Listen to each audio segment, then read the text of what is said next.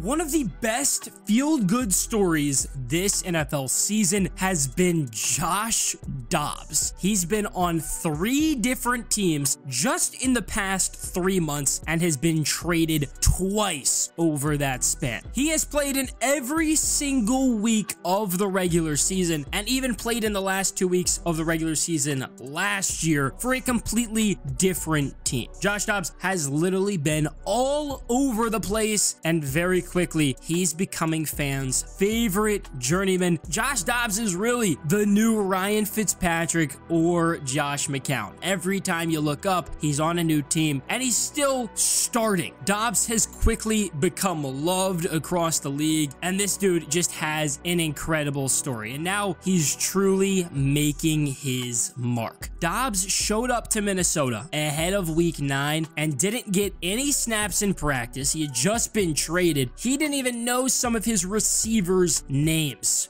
Oh, don't even start. I probably um if if we had to pull up a roster, I had to go names. Um, I would be I would be a bad teammate today. Yeah, yeah. I know knew Alex. I knew a lot of first names. Alex, Brandon.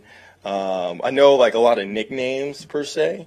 Uh, but yeah, names, names. That's uh, that's that's for this week. That's an assignment for this week. So he was not supposed to play. Fifth round rookie Jaren Hall was the Week Nine starter. Of course, the Vikings ended up in a quarterback mess after Kirk Cousins ruptured his Achilles, so they decided to trade for Dobbs in a conditional seventh for a sixth rounder. And it did not take very long for him to see the field after Jaren Hall suffered a concussion. Dobbs came in on very very little notice and was literally teaching his offensive lineman his cadence on the sideline. You never see anything like this. Not well prepared, doesn't know some of his receivers. His linemen don't even know the cadence. It's a true mess, and it didn't matter. Dobbs threw for 153 yards and scored three total touchdowns as the Vikings came from behind to win 31 to 28. It was just absolutely incredible. And you know what? He's actually played pretty decent this season. Dobbs started the first eight games of the year for the Cardinals. Kyler Murray was still recovering from a torn ACL. Arizona surprisingly released Colt McCoy, who was expected to be the starter until Kyler got back. And then they decided to trade a fifth rounder for Dobbs and a seventh from the Browns, who Dobbs had spent the offseason with. Now, things were not very pretty in Arizona. They went one and seven with Dobbs under center, but honestly, for what it was, he actually played pretty well. He passed for 1,569 yards, eight touchdowns, and five interceptions, and he rushed for 258 yards and three touchdowns. He proved that he was a viable replacement at quarterback for a needy team. Dobbs has now played in 11 straight weeks of the regular season, dating back to last season. He ended up starting the last two games of the year for the Titans. Ryan Tannehill was hurt and Malik Willis was just really, really struggling. So they put all their faith in Josh Dobbs. He had a shot to take the Titans to the postseason, but ultimately Tennessee did lose both games as Dobbs threw for 411 yards, two touchdowns, and two interceptions over the span. Now, taking it back, Dobbs was actually drafted back in 2017, but his first NFL start did come in that Week 17 Titans game. That just shows how long of a grind it's been for him, and here he is, finally getting his shot. He's been on three different rosters this year, and he was on three different rosters in 2022 as well. Before he was with the Titans, he was on the Lions practice squad, and then before that, he was actually on the Browns, who ended up waiving him after Deshaun Watson got back from his suspension. So Dobbs was a fourth round pick in 2017 to the Steelers. His rookie season, he was stuck behind Ben Roethlisberger and Landry Jones. Then he was actually the backup in 2018 and saw the field a few times after a few Big Ben injuries. In all, he appeared in five games and completed six of 12 passes for 43 yards and an interception. Then ahead of the 2019 season, he was traded for the first of three times to the Jaguars for a fifth round pick. Mason Rudolph had just beaten him out for the Steelers' backup job, and then Nick Foles ended up breaking his collarbone. So the Jags needed some quarterback help and got Dobbs. He was waived to the following offseason and then ironically claimed by the Steelers, where he spent the 2021 season on injured reserve. And now, finally, we're getting to see Josh Dobbs get his chance. It took such a long time, and I will say, Josh Dobbs is a guy that I've been rooting for for a very long time. I've been watching him since he came into the pros, and I'm so pumped to watch him on the big stage and playing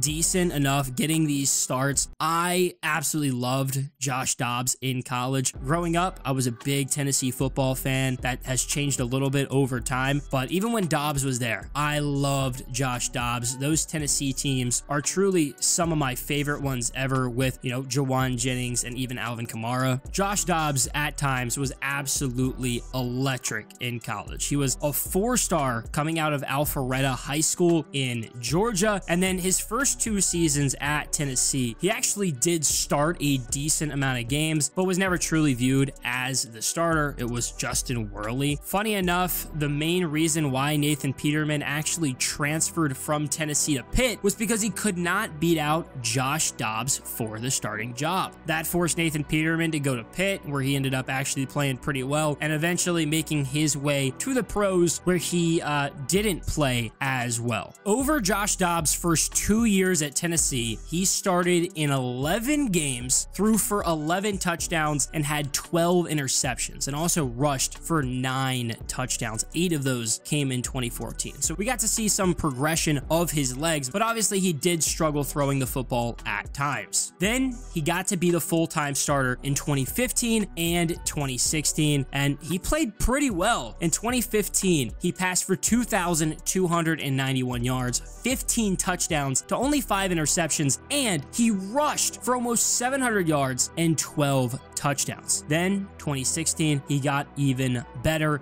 threw for almost 3,000 yards, threw for 27 touchdowns, did throw 12 interceptions, and also rushed for 831 yards and 13 touchdowns. Now, Tennessee was actually pretty good with Josh Dobbs at quarterback. They went 9 and 4 in each of those seasons, and there were some great moments along the way, but none as memorable as his Hail Mary to Jauan Jennings as time expired to beat number 25 Georgia. Still, as a fan, that is one of my my favorite moments I've seen. I remember being absolutely ecstatic when it happened. It was just such a cool moment for something that special to happen to a team, and for it to be against Georgia made it even better. Josh Dobbs was incredible at Tennessee. He had a lot of success. I'm so happy to see him have some success in the NFL now. But this guy is so much more than just his play on the field. This guy is literally a genius. When he was in Jacksonville, he had an internship with NASA. How many NFL players are smart enough to be at NASA along with playing in the NFL. NASA ended up getting him some recognition after the Vikings' wild win, calling him the Passtronaut, which, by the way, is a sick nickname. I mean, this is just awesome, man. Josh Dobbs really is living his dream, and who knows what this dude's going to be doing after the NFL. He might legitimately be building rockets for NASA. He's just so smart, and now it kind of makes sense of how he was able to pick up the Vikings offense so fast. He told Kevin O'Connell that whatever was in the game plan this week coming up into the game, that he could do it. And he did. Even without having to take any reps, without being able to actually practice it at all, he knew the game plan. He was able to execute those plays and he was able to help Minnesota